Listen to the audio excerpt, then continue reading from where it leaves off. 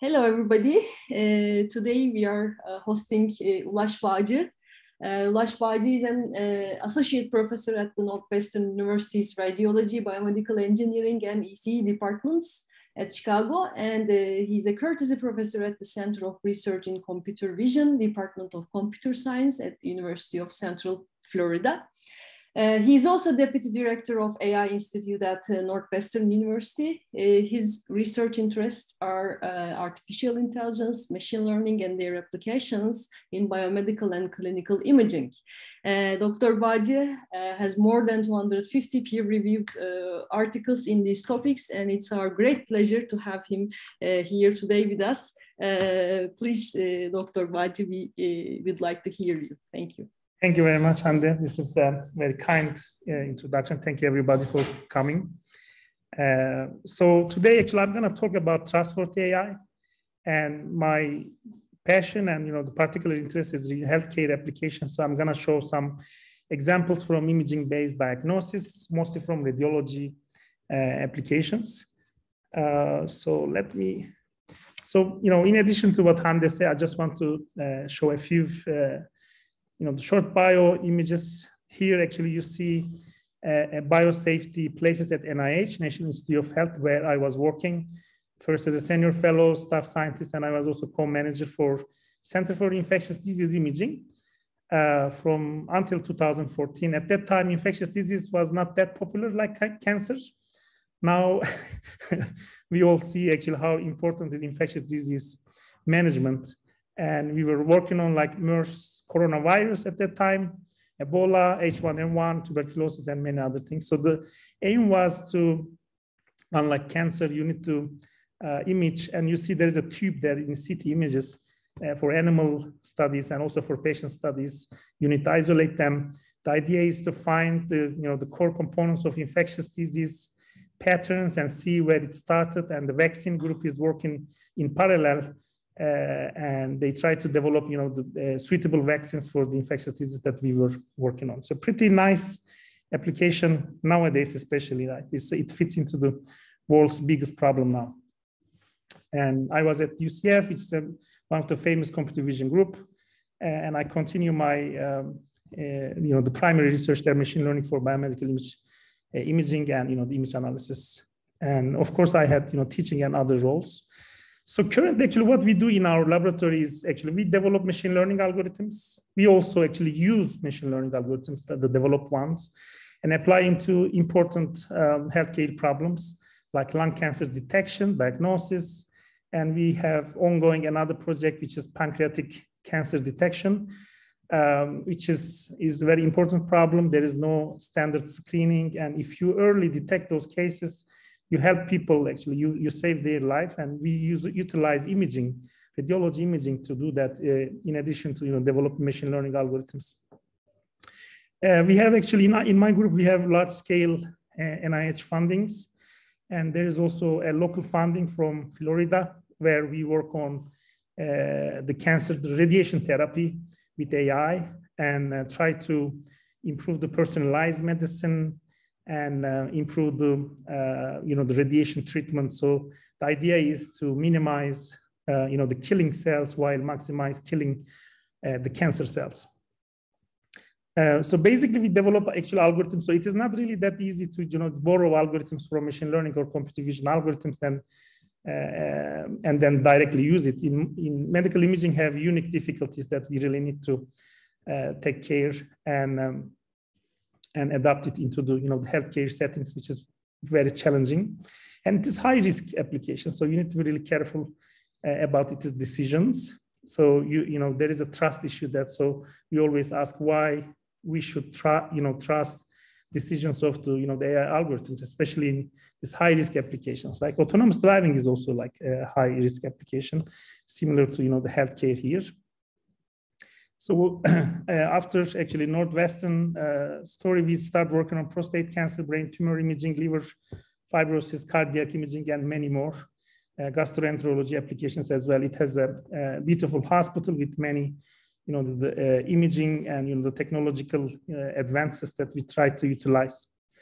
Um, so in terms of you know the techniques that we work in our group is actually we develop uh, algorithms for medical AI applications, and particularly we focus on you know the two things like uh, also the our lab uh, name indicate ma machine and hybrid intelligence lab. The hybrid comes from combination of like the human recognition and the, the machine. Uh, so let's let's make the you know the AI less artificial and more actually realistic.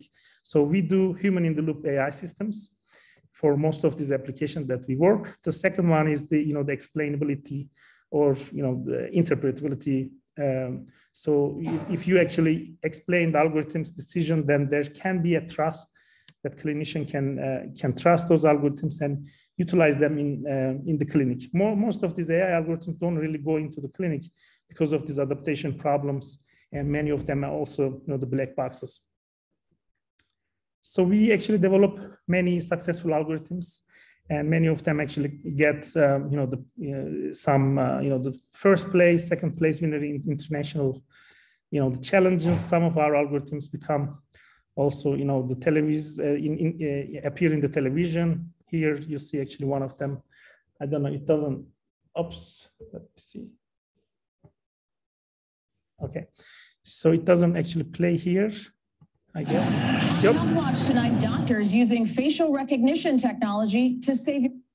Sorry, yeah, okay, I'm gonna actually skip that. So these are actually two, you know, the television uh, program that shows the, you know, success of our lung cancer and the pancreatic cancer. Uh, something happened. Sorry, I need to share again, I guess. Oops. Have, you know, from the algorithmic point of view, actually, our group is particularly focusing on you know, the capsule neural network based algorithm. Uh, of course, we use also convolutional neural networks like the, the most famous ones. Uh, but we particularly actually work on capsule neural networks. I will actually explain why we are focusing on this.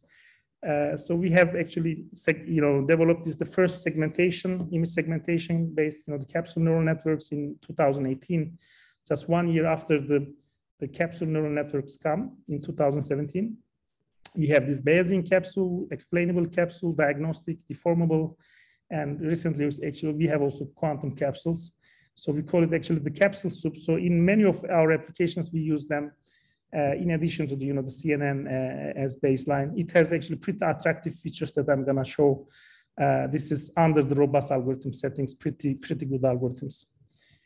I'm gonna actually select switch some of this. This is, you know, the work from pancreatic cyst.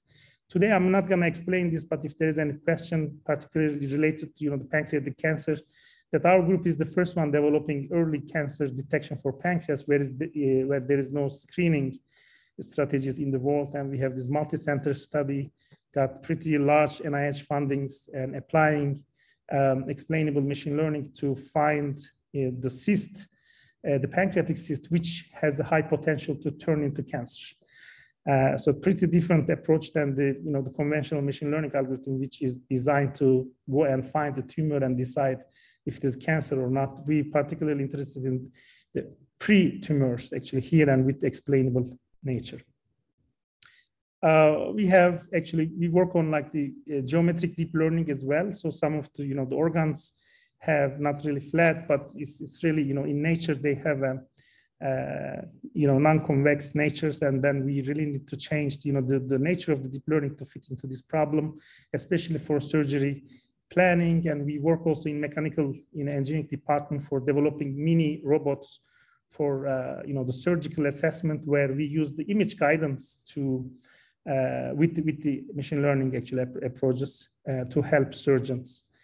And uh, related to COVID, we have this Nature uh, communication article where we use, um, uh, again, explainable uh, methods uh, and you know both detection and diagnostic methods. And we also actually go further now. Actually, we try to understand the long COVID cases, like which patients are going to develop different pathologies after they are recovered from you know, the COVID. So this is also very inter interesting because we don't really know what will happen to the COVID patients, uh, you know, afterwards. So we work with uh, NYU and other centers to, to predict which patients will need, you know, will develop, you know, different pathologies, especially in the lung. Uh, from the algorithmic point of view today, actually, I'm not gonna mention this, but uh, if there is a question also, I can also tell. Uh, so we have a, you know, the, the, there is this famous algorithm called GradCam, and especially this last year, scientists noticed that, uh, you know, this is the visualization algorithm. It shows where the algorithm learns, and usually scientists are using, using this algorithm to show as an explanation module. It is not a completely explanation, but it shows actually where the algorithm learns. We have shown that GradCam is really suboptimal, and we developed another algorithm called IBA, Information Bottleneck Attribution-Based uh, Visualization, and um, we use this actually the visual explanation. It is more subjective, However, uh, you know, uh, radiologists and other clinicians wants to see uh, where the algorithm learns for this, this, this decision.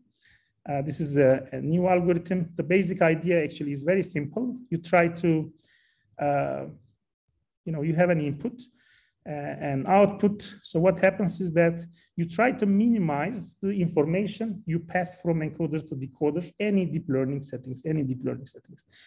And at the same time, you want to actually maximize the decision. So what minimum information you need from input to have the same class information. So that's very easy, a very actually intuitive, you know, the definition. So with that minimal information, you just go and map, uh, you know, the where the algorithm learns. I'm gonna just show one example about this. So input image is CT with COVID.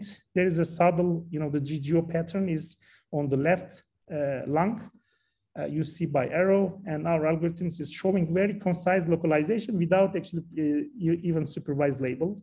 It just shows where you know the algorithm learns if it is a COVID or not, and if it is severity, while the you know the famous GradCam actually fails. And there are many failing examples like this actually. Uh, I can also show, but I'm gonna just uh, skip this. Okay, so today's talk, after all this introduction, I want to say, you know, the, when we say trustworthy AI, actually, I in, in my laboratory, actually, we we can select many more cases, but we uh, focus on three things for high-risk application. One of them is uh, the robust algorithms. The algorithm should be robust and actually uh, you shouldn't really, uh, you know, the failed algorithm with simple changes in input or in the network. The other one is explainable. So your decisions should be explainable to the physicians and the radiologists so that they can trust uh, your system and it can be adopted into the clinics. And the other one is the hybrid learning, which is like the computers are very good at, you know, the local task, like delineation and many other things and make your job easier by efficiency. But high level tasks like the recognition, still humans are much better. And ma many of those secondary algorithms are in clinics actually is we know that, you know, uh, the experts should really decide actually still based on the input data. So we think that actually the human, especially in high risk application, human should um, you know, behave together with the computer algorithms that we called hybrid learning.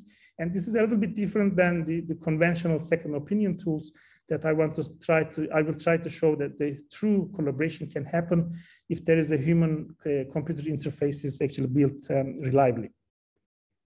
For hybrid learning today, I'm going to show that we can do this human computer interaction with eye tracking. It can be with any other things like the virtual reality, mixed reality, keyboard, mouse, and many other things actually can be included here based on application. Here, you know, we use eye tracking based on, you know, all radiologists are using their eyes to define, actually to detect, diagnose, and we use this seamless integration of eye tracking into the radiology rooms. For robust algorithms, we choose actually capsules family, which are general and it has very uh, many attractive, um, you know, the features to be used. And for explainable algorithms, actually, we divide them into the two uh, components. One of them is, is uh, you know, the, this is radiographical explanations as we do radiology image analysis.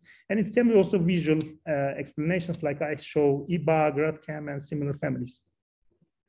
So, you know, later I'm going to show that this uh, explanation is really subjective issue. So explainable to whom? So in our case, it is the radiologist uh, or pathologist or endoscopist. So based on the problem, actually, every time we need to define what is, you know, the explainable.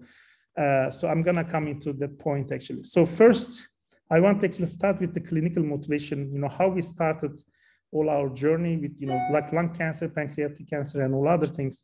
And then I will show actually, how, you know, how we first time actually integrated, uh, you know, eye tracking technology in radiology rooms, which is kind of the real radiology room settings, and it, it works in re real time. Initial experiments actually was in nearly real time, but now it is real time. And it is seamless integration with almost no uh, you know, obstacles for you know, the radiologists and clinicians. Later, actually, we, uh, after this clinical motivation, we expanded actually our research into you know, many other cases, and it, it is generalized well into other organs like prostate, pancreas, brain, and even non-medical imaging. Actually, I will show one example that how we use mixed reality uh, glasses in our trustworthy AI settings. So the lung cancer actually is probably one of the most visited uh, topic, especially for AI researchers, uh, because it, is, it has been known that actually the lung cancer can be detected with the low dose CT scanning in the early phases. And, and early phases, if you can see, you know, this graph actually is that, you know, more than 90% chances you can save people's life. So early uh, stage uh, detection is, you know, critical in, in this case. And this is the famous New, uh, New England Journal of Medicine uh, article showing that the, the use of radiology imaging can reduce the mortality from lung cancer. But it's very challenging to really uh, do that with just naked eye. So that's why actually many researchers are developing AI to help radiologists. So the goal is actually to detect stage one lung cancer, early detection. Usually these lung cancer tumors, nodules, actually we say nodules, is pretty small and it looks like, you know, also other normal tissues. It's pretty difficult for radiologists and uh, around 30 to 40% rate, you know, they can miss these tumors even, the, you know, that they search. Of course, there are many reasons for, you know, the missing these tumors, which I'm gonna mention in a few slides. So it will decrease the, you know, the, the mortality if it is done properly, and the CT imaging is the key here for the low dose. Uh, so here you see there are different kinds of nodules seen. And um, so it can be anywhere in the lung. It can be in different shape, different intensity patterns. Pretty, you know, the difficult case. So for those who don't really know about, you know, how radiology rooms and how uh, radiologists are reading the scans, so usually they have multiple screens, very dark environment with little uh, dedicated light source um, and limited distraction. So they search actually from different views, all these, uh, you know, the images and the very high quality screens, very expensive ones, and they do visual uh, search. And when they find it, uh, usually actually they record it. In the past, they were using keyboard. Now there's the, you know, the text to, uh, the speech to text technology for reporting. You see a microphone is there. And um, so there are many actually software. Usually, you know, the radiologists are doing this very fast in a few minutes to up to five minutes, and they really need the software that is not distracted, distracting them, and it should be, you know, the help helping them with a, with a very short interval and with little uh, interaction. So. I have worked in clinical centers for many years, and I see that actually, if they if the softwares have many buttons and it's difficult to use it, nobody's gonna use it. So it should be, you know, uh, for doctors, no buttons, anything, it should work automatic and immediately it should tell the results and it should be intuitively explainable so that you can actually adopt them into the clinics. Yeah, especially in community hospitals, they don't really have more than two, three minutes for pa patients uh, for CT screening. So considering that the problem is not only from the accuracy point of view, but also from uh, efficiency point of view. And there are many cases, many reasons that why they miss the, you know, um, the lung cases, lung uh, tumors. So here, if you see actually these CT scans, uh, some of the vessels look like the, you know, the tumor cases. So there's a little uh, nodules here in this CT scan. It is just right there, and it is really easy to, you know, the miss that. And after, you know, the, the six months, if the patient comes back to hospital, uh, probably this is going to be actually in another stage, stage two or stage three, and the patients will have, you know, the low survival rate. And you know, another very important reasons that we started actually this uh, study and uh, uh understand actually the, uh, the need for having a, um, a tool to interact with the computer is that the biases in radiology. There are so many biases that humans are missing. So they may be tired, they may be, you know, the fatigue or other things uh, happening, is the radiologists, I mean. Uh, and so many actually biases are actually included in the um, uh, literature. Two of them are the most common and very important. One of them is called satisfaction of search. When the radiologist sees some other patho pathologies, they may be satisfied with their findings and they may just stop searching and they may miss the tumor. The other one is inattentional bias, which means the uh, from a different angle, actually, they look like a, you know, the similar, these tumors may look like, a, uh, you know, the normal tissues and maybe just um, it may be in a blind spot. And so this is one of the reasons that they also miss. So around like, again, like 30 to 40%, you know, the missed cases happening. And overdiagnosis is another significant bias. Actually, it's leading to unnecessary treatment. So this is also another, uh, you know, the drawback of um, uh, the lung cancer, you know, detection. So here in this picture, so this is a very famous actually CT scan where there is probably you also understand, you know, because of the visual salience, there is a tumor in the um, uh, the right uh, sorry right lung actually in the bottom part of the right lung. Uh, so, but there is also something here. I'm gonna zoom this. You will see. So there is a gorilla in the you know the left right. So according to this study, like in 2013, Drew et from Harvard and Jeremy Wolfe, is a good friend. So this is like 20 out of 24 radiologists didn't really see this gorilla because they they just focus on the other um, lung tumors. So this is showing that actually pretty easy for them to, to miss, you know, the important parts. The solution can be, you know, the computer-aided diagnosis system. In the past, or, or AI-based, you know, decision support system. In the past, actually, before deep learning era, uh, expert knowledge, like the radiologists were analyzing all these lung nodules morphology, shape, and they were telling, uh, you know, the histogram, texture, and shape-based, um, you know, the predictors, uh, you know, that computer scientists should extract from images and then they do feature selection and then it goes to the classification. Now those, uh, you know, the handcrafting features turn into, you know, deep learning settings, all of them actually being done with, you know, the layers of the deep learning and the decision is coming. So the detection, let's say. So that is our, you know, the topic. The problem actually even in the previous CAD systems and now current AI systems is that they produce many false positives. So actually human and um, you know the computers have many drawbacks and many strengths. So we know that the radiologists can miss tumors. And we know that if you have an AI system to localize those small tumors, actually it will do a better job than human. And we also know that um, it is easy for radiologists to uh, understand if a tumor is really tumor or tissue. I mean, if, uh, considering still that inattentional bias is minimized, and at the same time, uh, I mean, I mean, radiologists have uh, not many false positive cases, but they can miss. So the, at the same time, machine learning algorithms, we know that they produce so many false positives.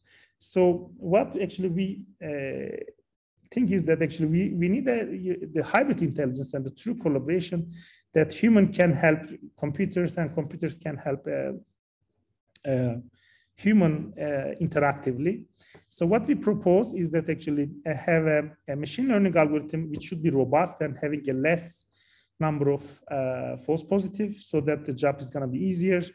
And we need some explanation, which we are going to use the radiologist explanation for defining a diagnosis or detection. And we need an interaction for this true collaboration. So how they can interact, and we are going to use the eye tracking that, that really fits into radiologist settings and many other application can too. So there are actually the system level approach like radiologist level eye tracking and also algorithm methods that for uh, uh, developing the novel algorithm that fits into our problem. Uh, so eye tracking technology actually previously like five, six years ago, we were using glass-based eye tracking technology, but we switched into these stereo cameras system and uh, radiologists have multiple screen, so which was not really done in eye tracking studies as well. So we do actually multi-screen and it is a dark environment and uh, uh, so what happens is that actually they look at the certain parts of the uh, screen, which is images in our case, and we record them. And not we are not going to only look at actually like a heat map where they look at it actually, but we will do a quantitative actual analysis there. So we model all eye tracking regions, this, the gaze patterns, uh, so that we can combine them with the deep learning. We can combine them with the you know the machine. So the biological attention we call it unlike you know how computer scientists are using this attention mechanism nowadays a lot. So we use the biological attention, which is directly coming from you know the uh, eyes, like where the from the gaze patterns, like where uh, radiologists are looking. So this is our initial system. So there is a PACS system, which is the radiology archiving system. It's, it's like the old uh, DICOM, the CT or MRI images are there. Radiologists are sitting there and looking at the, the, the screens and we have this eye tracker device and the software, eh, the, you know, the real time actually we collect them. And then these gaze data, we model them. I'm gonna show how we model them and go to the machine learning algorithm. We call it CCAD. or AI algorithm, whatever you can call, is collaborative CAD. And then actually this CAD systems is also uh, showing some uh, output to uh, radiologists, and then radiologists can you know, decide or change their mechanism. And this is like a loop. So there is a learning mechanism here. So it can be like multiple screen. It can be in light environment or dark, dark environment and pretty flexible system. So unlike laboratory works where you force your actually readers to look at certain paths and only single slices, actually we do 3D um, uh, 3D view. They can do zoom.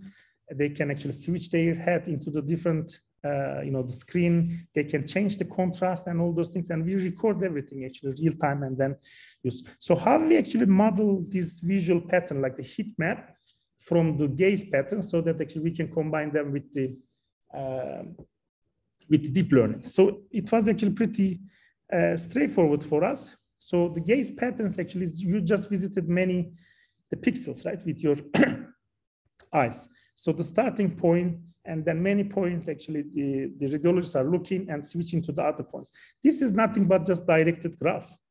So uh, we collected actually all these graphs and the points, uh, these fixation points, we call them like we can we can have like a nodes of the graph and the uh, the saccades like the eye movement from the fixation points. Actually, we can call this uh, as a edge between the nodes.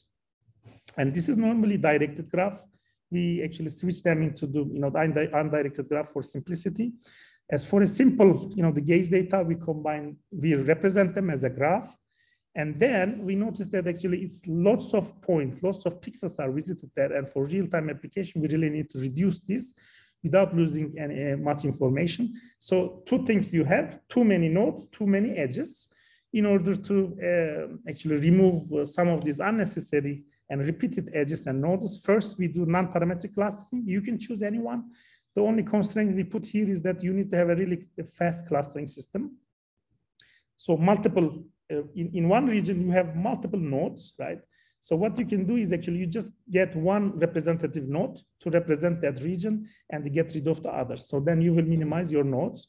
The second, we will do actually graph sparsification. How? We define repeated edges and remove them. Uh, so first remove some of the nodes, then remove some of the edges, and you have a sparsified uh, graph representing your visual patterns, and that visual patterns go into your deep learning algorithm. So it can be detection. In, in this case, it is like a multitask. You know, you can detect the tumor and define if it is a tumor or normal tissue, and you can even segment it because morphology of these tumors is also telling something about their you know, diagnostic and prognostic features. So initially we were using CNN, but after you know the, our intention to robustify the algorithms, we changed everything into the uh, the capsule algorithm. So we don't have any restriction also here. That's a pretty generic systems. Use eye tracking, specify it for a real-time tracking system, and then use robust algorithms for your multitask, which is usually in medical imaging is that you have classification, segmentation, and detection. And so there are this gaze analysis, visual attention, and the machine learning part at the system level. So for, uh, again, like this is the you know current tracking device that we use is a FOVIO eye tracker system, uh, stereo camera. This is the, the typical visual map from eye tracker. It is not quantitative as you can see. And you, you know, this is a long uh, image screening, you know, the, from the CT, you see lots of nodes and edges are there for a typical screening. This is, this is really, uh, you know, a lot. And that's why actually I was trying to say that you need to minimize this so that you can real time put it, this into the, you know, deep learning. And um, so we represent them as a graph. And, um, and here actually from the raw data in A, in B, we do clustering data to remove nodes like these color images you see, you just need to choose the one representative one and then get rid of them. And the, the last step is the sparsification, repeated edges, like your eyes actually go, you know, from one point to another point. Uh, you know, in radiology, they visited many places again and again. So you, you just need to remove those points. Uh, Ulaş Hocam, uh, yes. sorry. Is this for just one expert for one patient or is this? Yes, yes. Uh, this is one expert for one patient. I'm gonna show three expert and different patients in the experimental part. Okay, thank you. So you see here the centroid of those nodes uh, can be used just representing those, uh, you know, the point that you can actually remove the nodes. And again, like we don't really have any constraint here, just one constraint. You really need to have a time efficient family of clustering algorithms. Any non-parametric clustering algorithm will be choose. If there is a new one, it is gonna improve our system actually. It's the new, uh, much better ones. Uh, I'm gonna, since I have actually many slides, I'm gonna skip some of these theoretical parts, but we can always actually go back. Very simple similarity functions, just checking the distance like, you know, many of these clustering algorithms. And for sparsification, it is, you know, the, you know, it is very old technique, but wor works pretty nice in our case. It is the Laplacian based metric. We uh, just look at, you know, the, the, you know, the Laplacian of the, you know, the, uh, the graph, and we look at, you know, the weight of this, uh, you know, the graph, and the weights are coming from the attention. So you can also think like for every point, you know, this radiologist look or we look, so there is a time component. If the time is high, which means actually radiologists are spending a lot of time on that so that we increase the attention uh, component of this. Or they visited the same point again and again, which means actually there is something ongoing in that region, not necessarily tumor, but there's an interesting thing going. So we increase the attention, you know, the parameter. This is a novel parameter we put, attention parameters, the biological attention, and then actually we try to use this to, you know, the sparsify. So here, uh, I want to show these attention parameters that the number and the, you know, the time. So the number of nodes in each cluster, if it is high, it means actually radiologists actually look at again and again. So this should be uh, related to biological attention. So we need to increase the uh, attention mechanism. The other one is the self loops or the amount of time. So amount of time from the, you know, this eye tracker device, we, we measure this for every node, how much time they spend. So if the time is high, uh, it means actually we need to also increase the attention uh, of that, you know, the region. And from I point I and point J, you know, between two uh, nodes, uh, we just combine this to create this novel attention uh, weight parameters in our, uh, you know, the formulation. So this is a toy example. It's like a dense graph. and so we are actually now sparsifying the graph edge ratio 0.2 means 80% of the data are removed. And then, uh, you know, we, we are still having, you know, the structure of the, the graph. So intuitively, actually, we find in our case, like from 0.4 to 0.6, like the 60% of the data we remove and we still have really good, um, uh, you know, the graph structures that can be combined with deep learning. So this is the 3D version of it. After clustering, you see, and then sparsifying, and I'm gonna show actually the, now the two examples from our, uh, you know, the cases. So this is how algorithm works. It's, this is really, you know, how it works like what I described by uh, Ward. So this is the radiologist, the first radiologist. And um, look at one, you know, they look at the same patients that we choose randomly and they repeated this experiment many times. So the first row actually shows the dense eye tracking regions, nodes, I didn't show the uh, edges because of, you know, it's too, too many.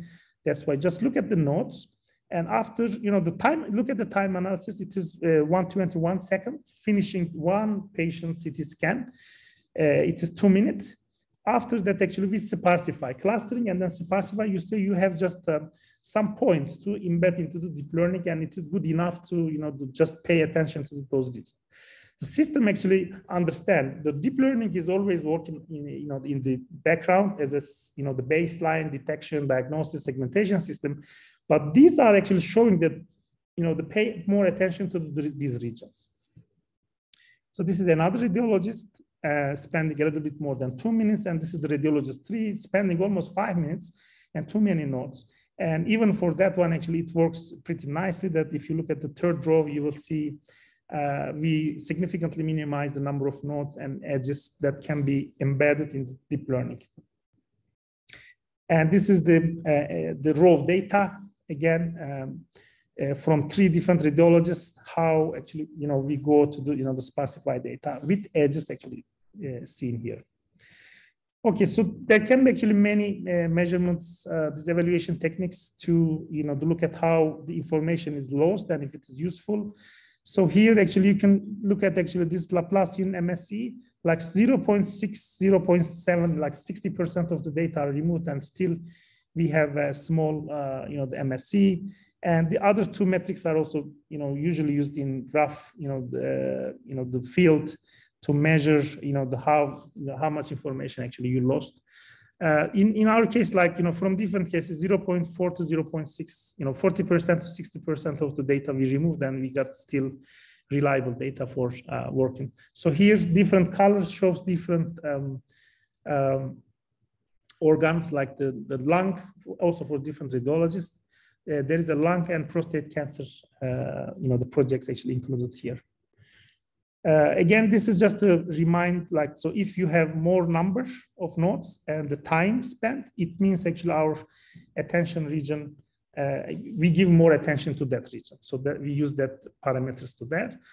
Uh, for so, you know, as I said, actually, the detection is always working for deep learning detection diagnosis is always working in the background. And this attention mechanism should go and integrate it to that.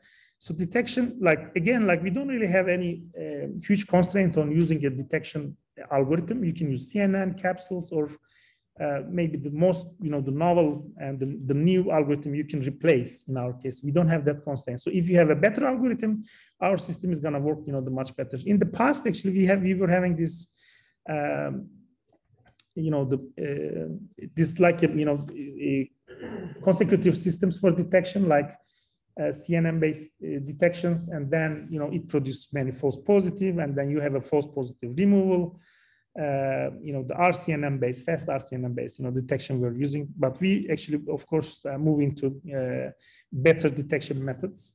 And then better detection methods with the attention mechanism when it is actually moved, we remove so many false positive very significantly.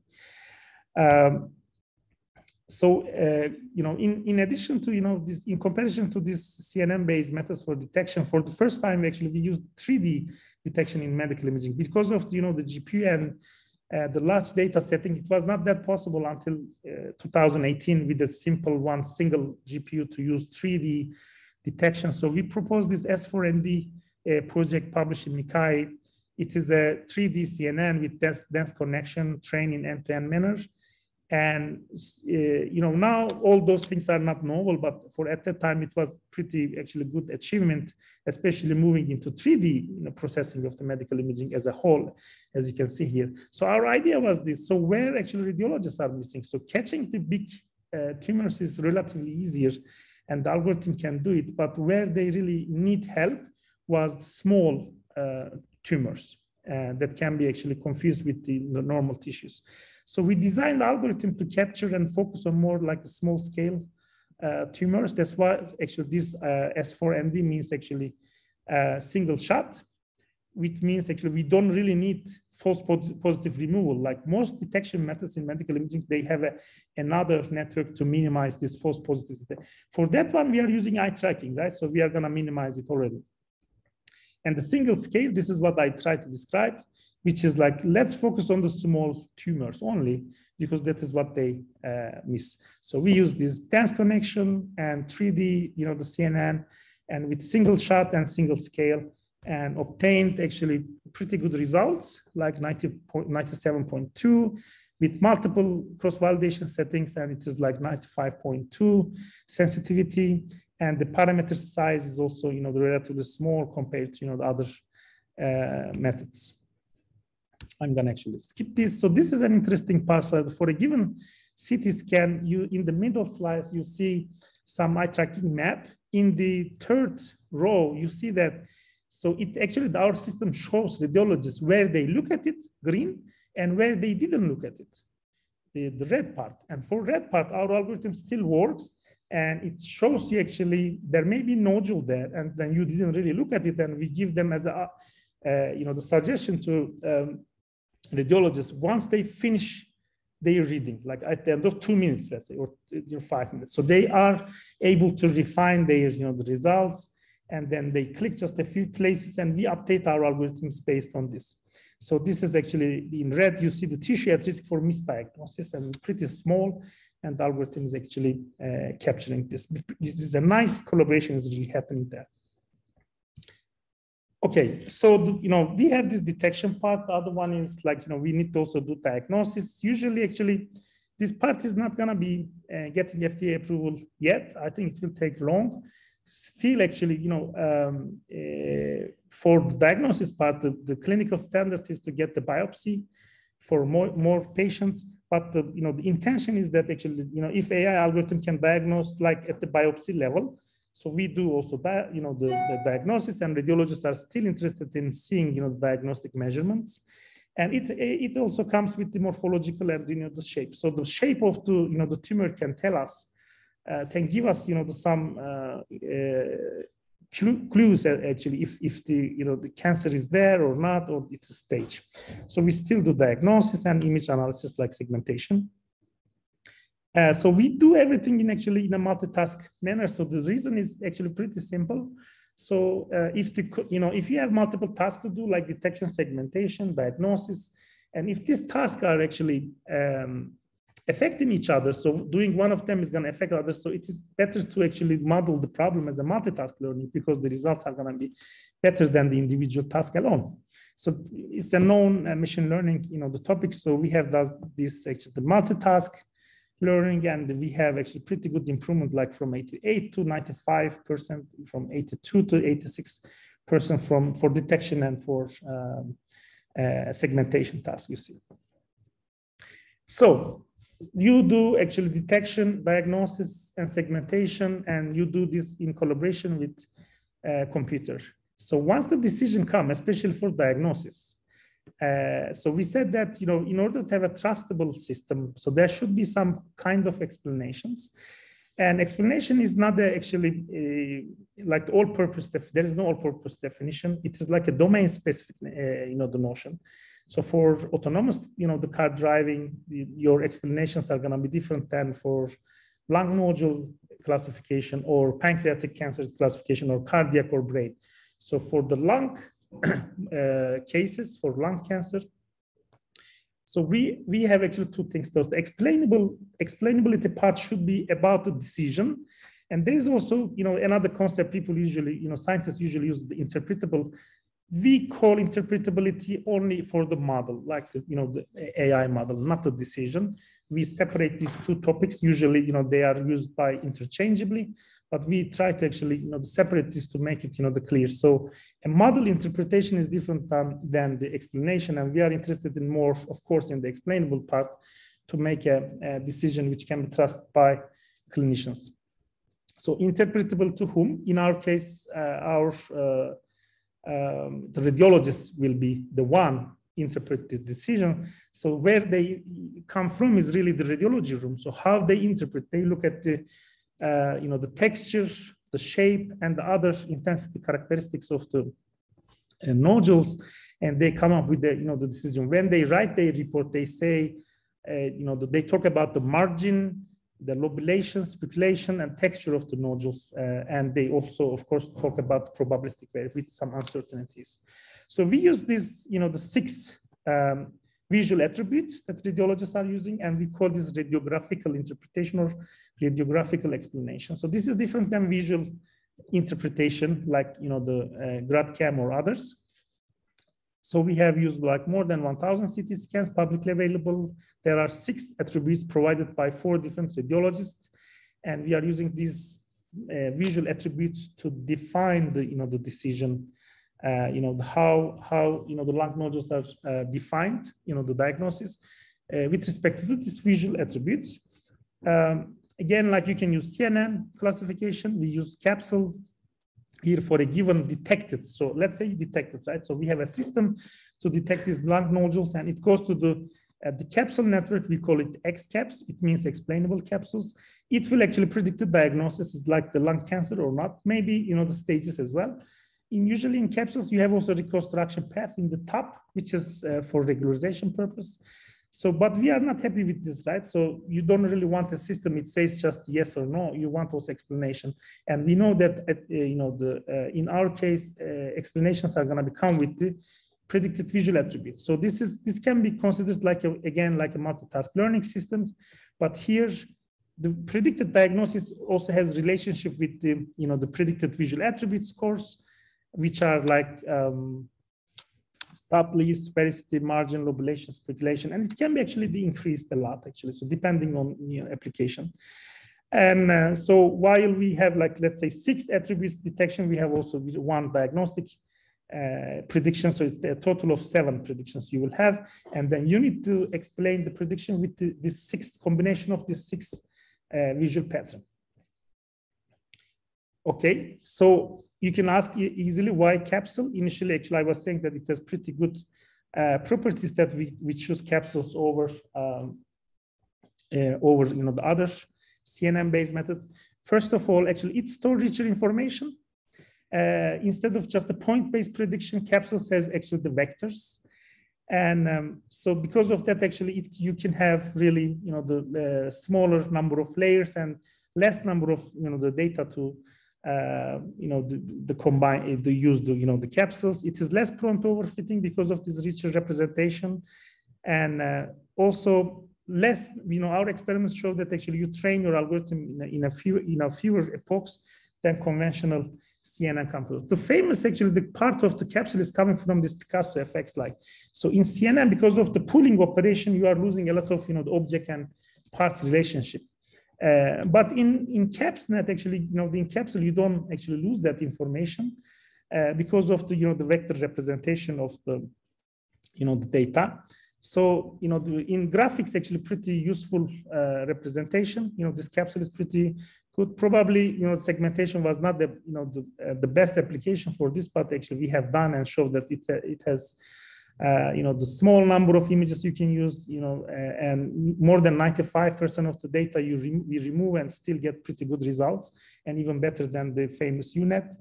Uh, so it is it is because of the it stores you know the richer information because of the vector uh, representation of the data. And I'm going to show actually even that you you change the object you know let's say image a little bit and then uh, you know use one of these UNet or other algorithms that the algorithms were are failing while the you know the capsules are not really failing. I mean, of course there are failures, but less, which shows you know this is robust uh, nature of it. Okay, so uh, you know the classical UNet is used for like segmentation or many other things as well. So we basically what we have done is actually we uh, created a capsule in the U shape so that we can do segmentation. And we introduced, you know, deconvolutional capsules in the decoder part of it. And there is also, you know, the reconstruction part for the regularization. And in the, you know, simple lung segmentation settings, we actually um, slightly, you know, to get better results than uh, like UNet and, you know, the tiramisu-based algorithms, this 101, uh, uh, you know, the number of layers in, uh, in, in UNet kind of this full convolution based networks. And while like UNet is using more than 30 million parameters, we were using just only 1.4 million parameters and with pretty robustness. Here, actually, you see UNet actually start failing when you rotate images, but the SegCaps, the capsule-based segmentation is more robust.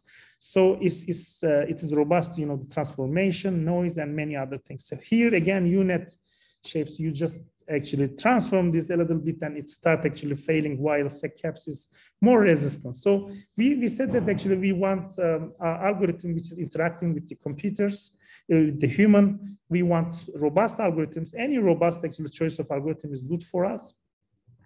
And explainability. In our case, I just show uh, like the radiographical explainability. If you change the topic, then you know the application, the explanation is also gonna change.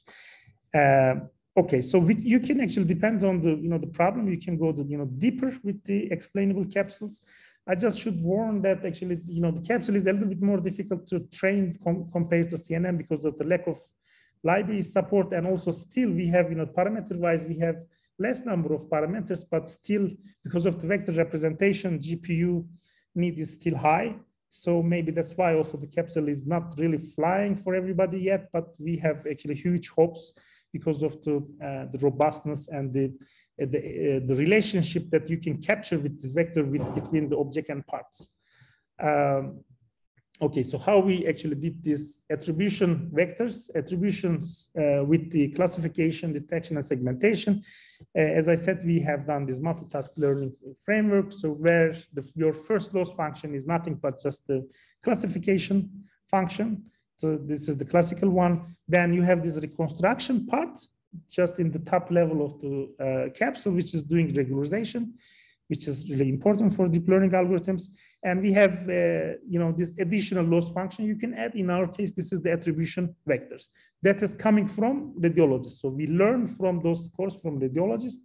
We train them. And once we, our system actually tells something about detected, segmented, and tell about, tell about the diagnostic nature of it, it also puts the six visual attributes and show the relationship why this is cancer and from because of which visual attributes. This is how the system works, and it is uh, nicely fit into the you know the clinical uh, workflow for the lung cancer, for pancreas cancer, for prostate, for brain. You need to change these uh, attribute vectors because for radiographical interpretation is going to be changing. But pretty much the rest is this is going to be the you know the same. So what we expect also from uh, you know usually the explanation uh, explainable algorithm is that when you try putting more explanation, like in you know the basic statistical algorithm, right? So regression, it is more explainable, but the accuracy is low. CNN is getting you know the higher and higher number of layers, is highly non you know highly nonlinear functions with black box black boxes, and what happens is that you get state of the art results, but it is not explainable. So when you try to actually put more explanation, so the general trend, not necessarily, but uh, the general trend is that you are going to lose some accuracy. So accuracy explainable, the trade-off was, uh, um, I don't want to say hype, but it is, it is true that in many applications it's working like this. So the, the, the, the goal is to develop an algorithm which is as good as CNN or close, you know, approaching to the SOTA CNN, while at the same time you increase the explanations. In our case, actually, we got pretty close to the CNN applications while we increase the, uh, you know, while we increase the, you know, the explainable component of it. So if you look at the results here, you will see that non-explainable methods are close to like 90%. We got actually in, in, in 2020, our results, this explainable results were approaching like 87. Now I think it is around 89 to 90%, very similar to non-explainable methods. And while non-explainable methods do not say anything about these visual attributes, uh, the you know the practical practical benefit of the, you know our XCaps is saying that so it it predicts all these attributes as well. So this is the the benefit, and it is very very close to the uh, state of the RCN, and, and probably it's going to be much better in the uh, near future.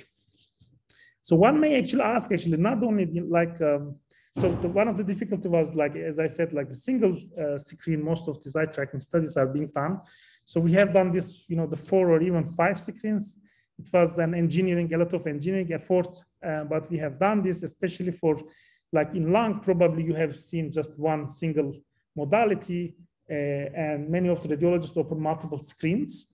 Uh, so they still look at the different views, but there are also cases like different imaging modalities are being used. So it is interesting to see like here in prostate cancer, there are four different imaging modalities and radiologists need to look each of them to understand if where the prostate cancer is, how they are gonna, you know, identify. So it is also interesting when you ask actually, especially expert radiologists, how they do diagnosis. In most of the time, actually, they are not able to explain properly actually how they do it. So the fusion algorithm, we want to understand how they really do that. So, so here you see that actually the, uh, there are four different modalities. Radiologists mostly look at the structural images T2, but whenever necessary, he actually in this case actually look at the diffusion imaging, water information, and then look at you know the, some contrast images when they need contrast uh, information. Sorry, and very little time actually they look at the diffusion weighted imaging in the you know the left corner you see. So from this actually what we understand is that when you have multiple images, multimodality images, you put them into the deep learning for fusion operation, right? You do either early fusion or late fusion from this eye tracking, actually, we see that actually, you know, they need different information from different uh, different part of the uh, regions they actually combine. So we try to, you know, develop like uh, deep learning algorithm. They just mimic this kind of intermediate fusion operation. And, um, uh, you know, we, we, we start actually getting pretty good results about this fusion operation. So here we understand what they cannot ex explain in practice.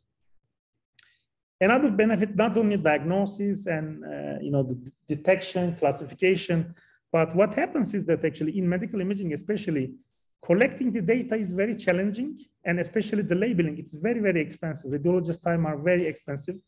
in most of the time we hire students to you know do this labeling but it's still very challenging and they need to learn all those things so we started the project like can we label these you know the uh, images without actually spending a lot of time on radiologist time so just when they go to the radiology room when they do their daily routine uh, screening can we put our you know the eye tracking device there and while they are uh, screening, can we actually collect data to for labeling? Even it is just rough labeling, but this is the way actually we can actually minimize. Otherwise, in me medical imaging, we don't really have ImageNet, right? ImageNet, more than millions of data is there with labels, but in medical imaging, it is very hard. When you find 1,000 images, you become really happy. So this is actually one, uh, you know, the screen is shot, the figures showing that the neuro radiology applications where radiologists are actually looking without actual annotation, anything, just looking at the tumor. And in the background, we have this tumor detection and segmentation working. It just needs some clue. So when the radiologists look at certain points, we segment very quickly and roughly. It doesn't necessarily be just uh, uh, very refined. Once we collect the data, then you can run another algorithm to refine the results. And this is gonna be your labeled images. So even in machine learning community, uh, we see that the, you know the scientists go back into the now the data part a lot. So the collecting the data, curation the data is very very important, especially in medical imaging. And we believe that uh, this uh, eye tracking technology is going to help to make this job actually more efficient and more innovative. And on not only MRI, you see in CT, ultrasound, PET imaging, this can be used. So it's pretty, uh, you know, the generic method. So before actually finishing, I just want to show that this is also useful not only for uh, medical imaging, but non-medical applications. So the idea was like, again, like from our laboratory. Uh, so for this is civil engineering uh, work, where the inspector looking at the bridge and roads and try to see crack and other, you know, uh, you know, deformities in the road and the bridges.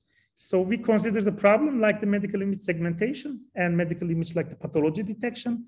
So the crack can be considered like a lung nodule or uh, you know any other pathology. And there is a mixed reality headset here, the same algorithm and interaction. You see, similar to eye tracking technology. And now we have uh, in the in the mixed reality headset, we have our algorithms for detection, segmentation, quantification, and the human inspector is just looking at certain points and then the, you know the, this interaction actually the works. Um, I'm gonna start this, but I hope it's not gonna collapse again. Oops, sorry. It, so that was actually one of the last slides. So let me open quickly and I think some, some problems with videos anyway.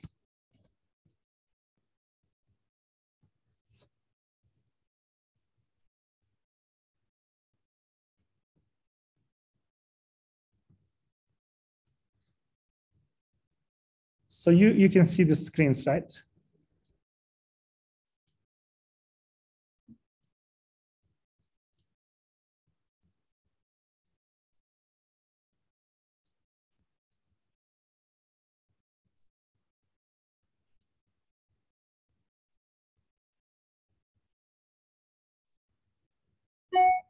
Yep. So here, um, so I'm not going to show the video, but what happens is that it is a real-time video uh, so when the inspector look at this crack, so what happens is that it detects and segment the, you know, this pathological area, which is, you know, the crack, or it can be spall, or it can be, you know, some other, uh, you know, the deformities. And it also gives you, you know, the quantification, you know, the severity of those damages. And this is pretty useful for, you know, people, especially working in, you know, the difficult conditions in, in civil engineering from the distance, you know, you can measure all those things and it really makes the, uh, you know, the system more accurate and, you know, the efficient. I'm gonna, yes, I'm gonna actually conclude my talk um, now. Sorry about videos. So eye tracking technology and mixed reality and, you know, many other actually in our lab, we start using virtual reality as well. Um, so they provide not only qualitative, but also quantitative metrics with the graph analysis and it identify uh, you know the 3D image space at risk for underdiagnosis, so the missing cases.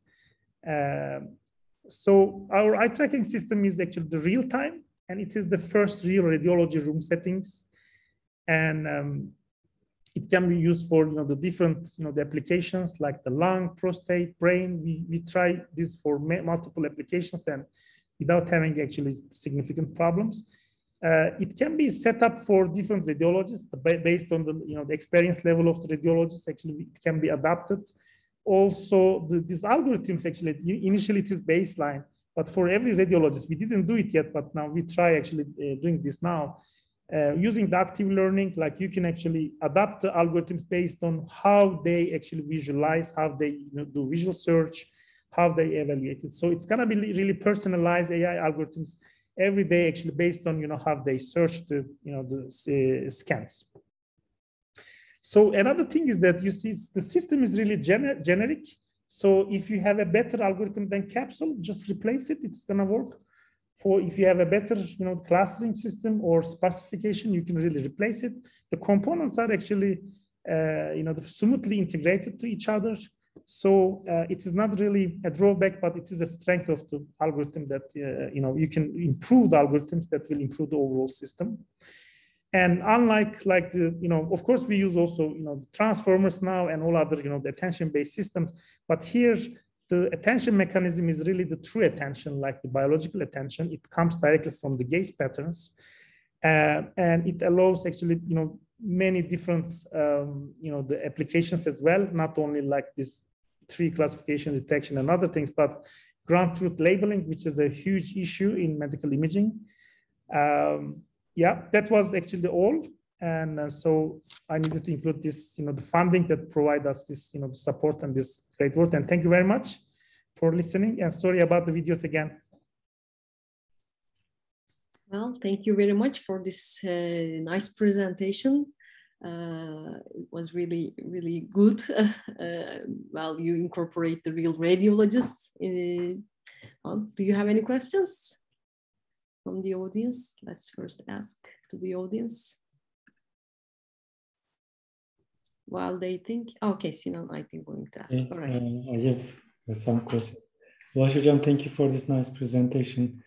Um, I have um, I wonder how you handle the disagreement between different annotators. So the experts might have different labels, right? How do you handle that? So in, in for example, in multitask learning, so we have these uncertainty uh, measurements usually uh, included. Let me see where this MTL formulation. Yeah, here. So you know what what you you try to usually have the we have the mean score like let's mm -hmm. say four radiologists score something, we try to get the mean score for each of them. Uh, so that was our initial studies. Currently, what we do actually is that we don't really do mean score anymore. Uh, so we include now uncertainty measurements for every prediction. So every prediction has also, uh, you know, the standard deviation of uh, reliability score, let's say. But initially, we were taking the mean score of it. So you are using aleatoric uncertainty. Yes. Okay. Um, then, um, so you have strong imbalance problem actually. So the yeah. tumor regions are just small portions of the overall images. So do you use any tricks to mitigate that? Yes, data augmentation like everybody use. So we use the, you know, the data augmentation, uh, but really carefully choosing data augmentation this time because um, you don't really want to distort to, you know, the shape of it. So now there are actually some tools like keep augment and auto augment kind of systems. Uh, so we remove those computer vision based data augmentation and just keep, uh, you know, things that is more suitable for medical imaging. Because so the idea was actually very simple. We have a simple check classification. So once you distort the images, if the classification label changes, we don't use that data augmentation. But we do a lot of data augmentation to balance the problem. Okay. So actually we work on similar problems. Um, um, we, we work in detection and we have strong imbalance in detection and we develop, propose out some better strategies. Maybe we can talk about that later. Yeah, that will be really great. Yes, that will be really nice. It's, it's a it's an unsolved problem. yeah. yeah. Yes. Thank you. What uh, so what you do is more like a you know white box explanations. So what do you think about uh, black box explanations, where you take a model already trained uh-huh. and try to explain it afterwards? Yeah, uh, it's well, ad hoc, right? It is ad hoc method. Mm-hmm. So, um, so in our case, the motivation was really coming from like you know the, how radiologists are going to interpret the results. So uh, we we really avoided like uh, interpretation one interpretability. Uh, in in medical imaging settings, it may be you know so like I can give just one example, but it's not generic. Just I, I promise. Probably there is a huge promise there too. But one explanation was this. So we uh, have imaging data and we have some uh, patient data and we try to classify pancreatic cancer cases for like high risk or low risk, which, which patients are gonna get pancreatic cases. We note that actually something is uh, actually uh, problematic in black box explanation. And then when we go deeper and we notice that one of the variable uh, is really dominating the others, when we define that variable, it was like the patient comes to the hospital with the uh, stomach pain. And let's say you have millions of data from images like pixels and many other things, but this single parameter was dominating. So all the patients who have stomach pain was considered like high risk pancreatic cancer. So then we, you know, you cannot really convince radiologists with that. So that's why we switch into radiographical explanations. And plus visual explanations that I try to show, like the other, you know, this GradCam and IBA. So combination of them actually works so far. For black box, like, you know, our experiments, again, like was not really successful, uh, but it is open to, you know, uh, you know, open to development that field, yeah. Okay. I know there are some algorithms available, but none of them really work out for us. Yeah, okay. So my a student of mine is working on it currently. So we use Lime, for example, to take Lime and SHAP and Shapley, yes. right? So yes. unfortunately, none of them really work us, but I cannot really generalize. Like I said before, many of these machine learning and computer vision methods is not easy to integrate medical imaging. So you really need to adapt. Yeah. Uh, so it's a good PhD topic. Good luck for him. Thank you. Do we have other questions? Okay.